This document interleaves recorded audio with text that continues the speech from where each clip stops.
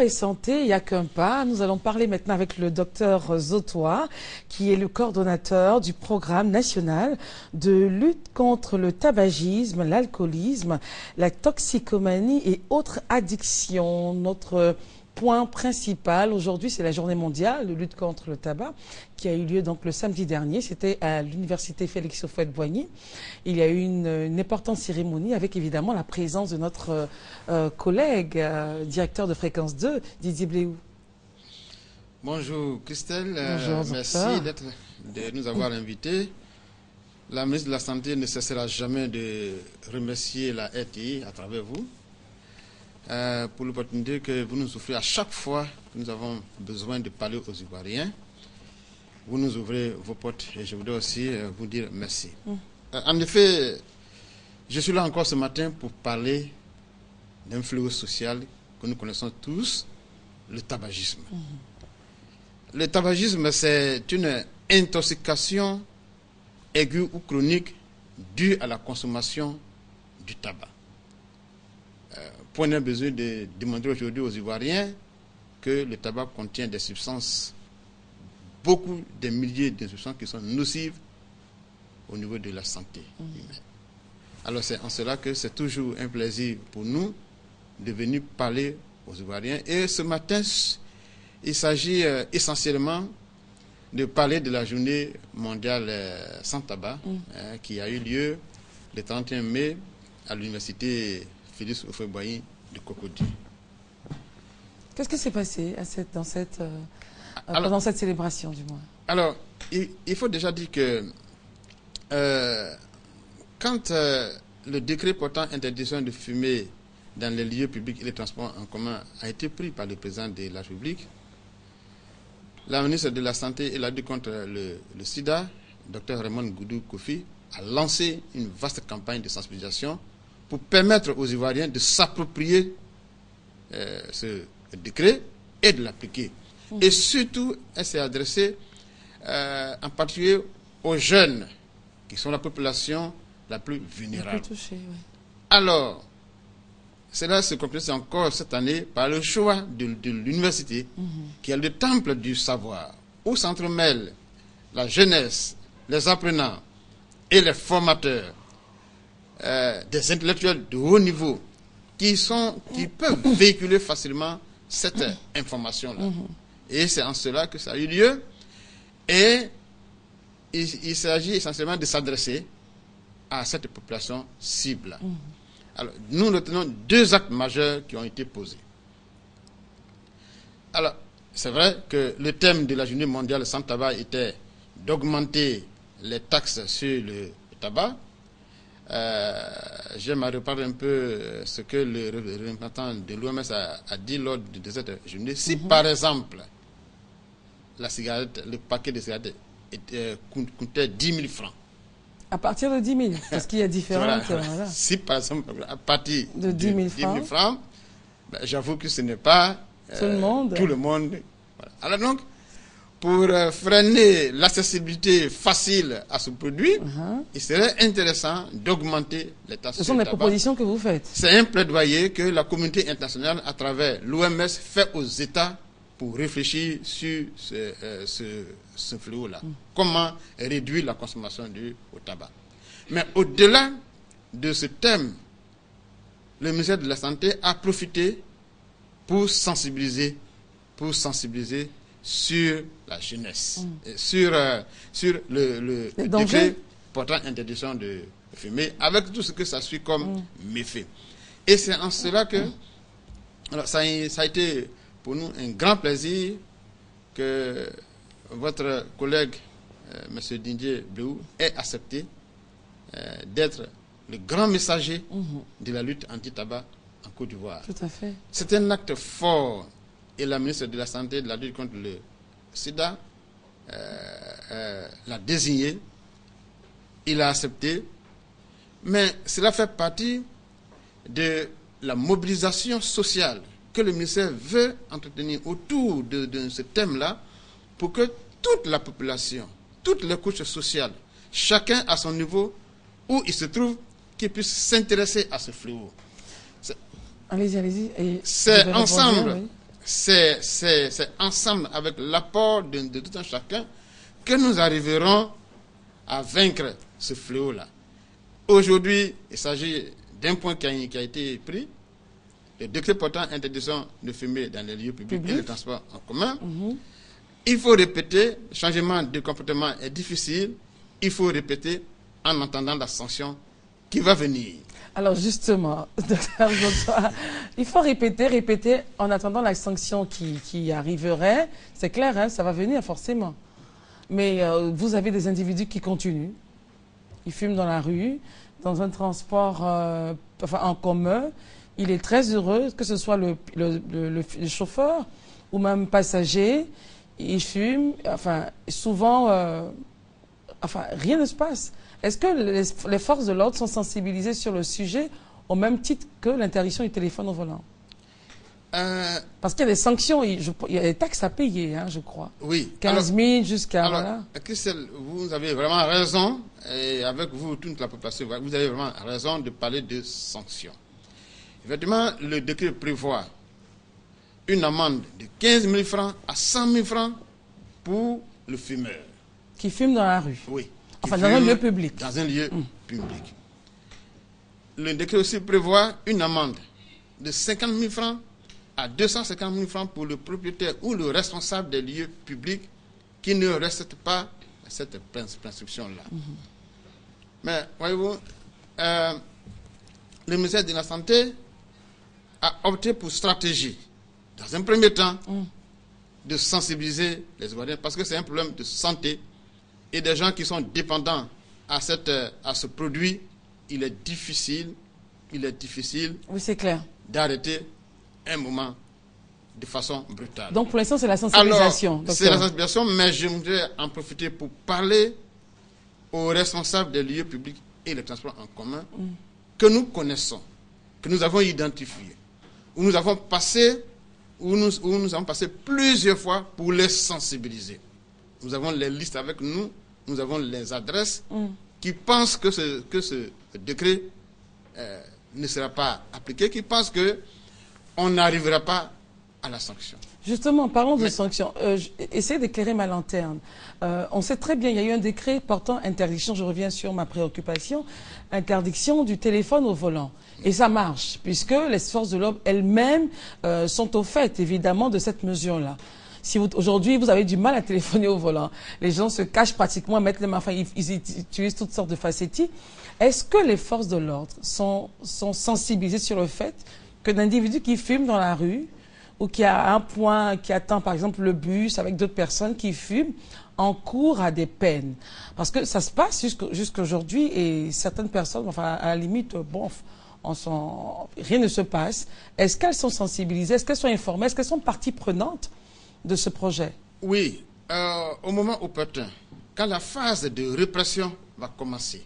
Vous allez les sensibiliser. Quand la phase de répression va commencer, il n'y aura pas d'avertissement, alors les, les, les, personnalités, les forces de, de l'ordre mm. qui seront désignées vont commencer à appliquer cette sanction-là. Donc pour l'instant, on n'est pas encore à ce point-là. On n'a pas encore à la phase de répression. D'accord. Mais elles sont quand même informées de qu'il y aura au moment où elles seront... Ça, c'est sûr et certain. Ok, elles vont intervenir. C'est certain que euh, les sanctions vont arriver. Et je répète et je dis que c'est encore l'occasion de lancer un appel aux tenanciers de maquis, de bars, de boîtes de nuit, mhm.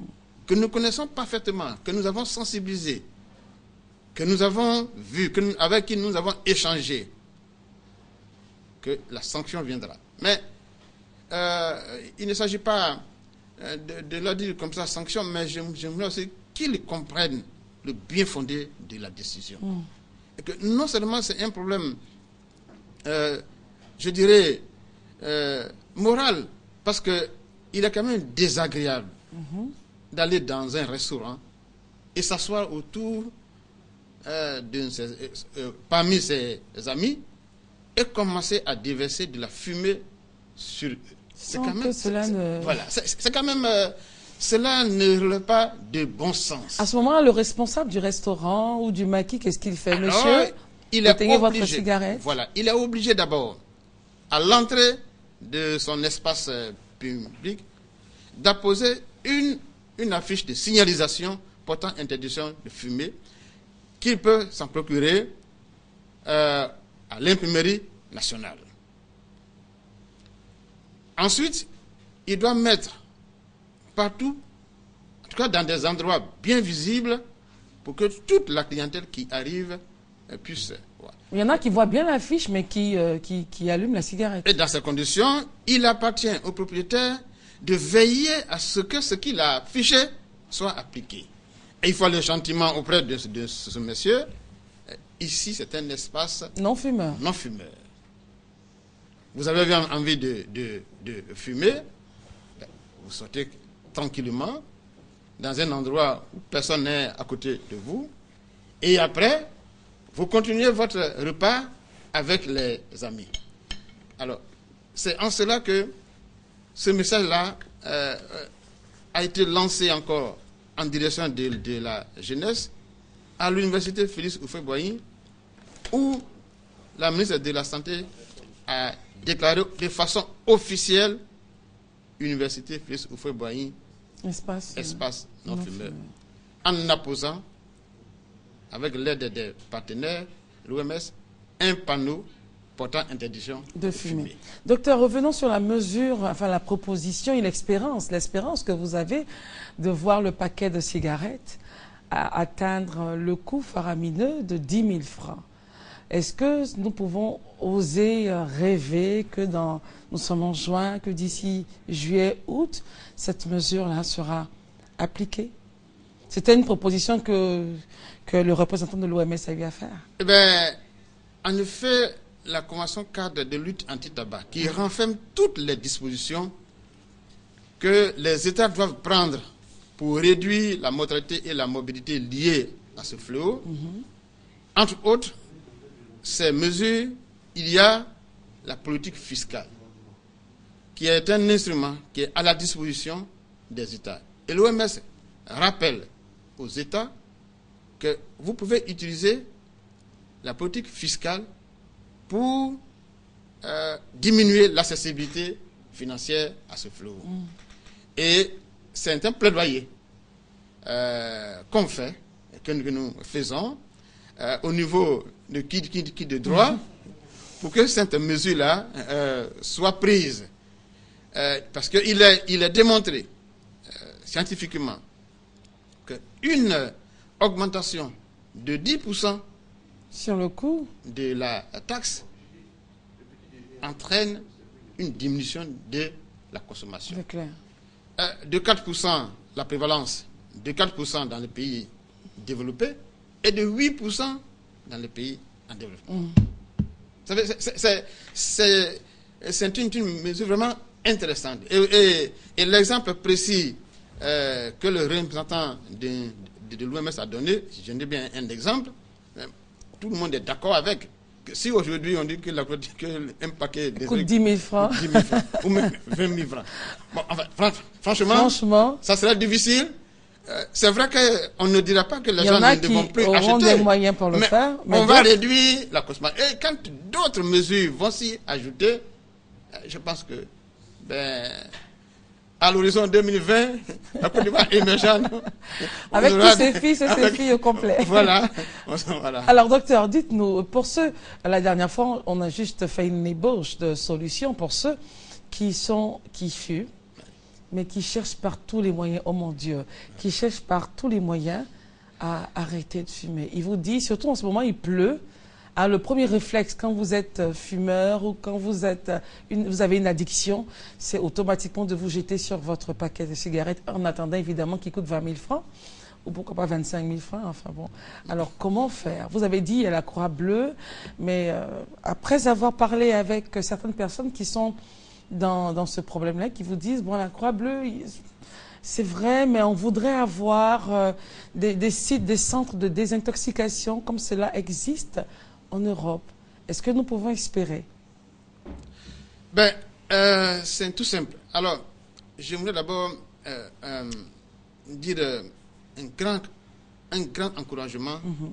à toutes ces personnes-là qui ont envie d'arrêter. Le tabac, sincèrement, contient beaucoup, beaucoup de substances nocives.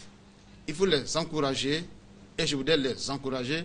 D'abord, je les félicite même d'avoir pensé même à ça. C'est déjà un pas. Deuxièmement, il faut une volonté individuelle.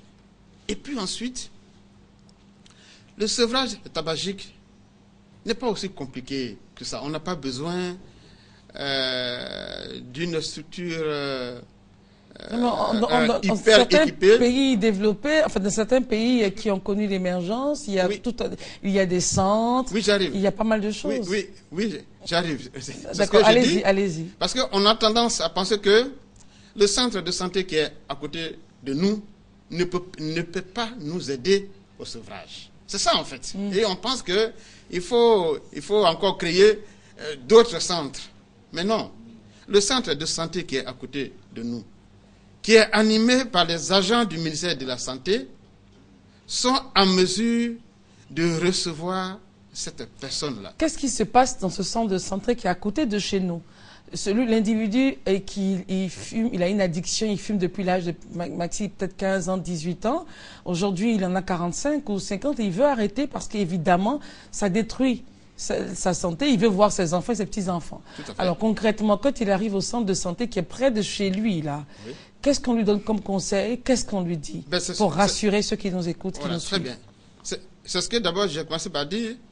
Le fait d'abord même que la personne, il faut que d'abord que, la personne ait le courage de se déplacer et aller vers l'agent de santé. Bon, on imagine qu'il s'est déplacé. Dis bien, je dis bien l'agent de, santé. Je n'ai pas dit forcément, il faut le médecin, il faut l'infirmière, il faut la sa-femme. L'agent de santé l'agent de santé va, lui donner des conseils. Mm. La première des, choses, c'est de s'éloigner de cette chose qu'on trouve assez vilaine. Mais c'est tellement facile de le dire. Ben oui, bien sûr, mais, mais, mais, mais c'est pas là. C'est parce qu'il n'arrive pas justement à s'éloigner ah qu'il chercher de l'aide. Non, oui, mais si vous habitez, si vous habitez, si, si vous habitez à côté d'un vendeur de je ne dis pas qu'il faut, faut déménager. Il faut déménager. Mais je veux dire que si vous êtes habitué à mettre à, sortir avec un, paquet de cigarettes, si aujourd'hui vous ne sortez pas avec des, paquets de cigarettes, c'est déjà un pas. Donc il faut changer les habitudes. Il faut, quand l'envie arrive, il faut faire beaucoup de sport. Il faut prendre autre chose, quelque chose, mm. un fruit, euh, un, jus de fruits, quelque chose qui peut vous oublier très rapidement.